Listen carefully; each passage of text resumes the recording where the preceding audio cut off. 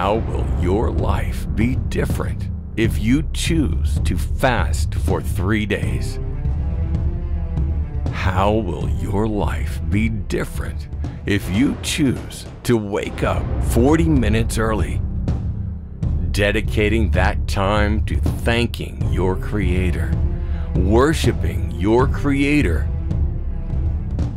How would your life be different if you watched a few videos on deliverance by Derek Prince?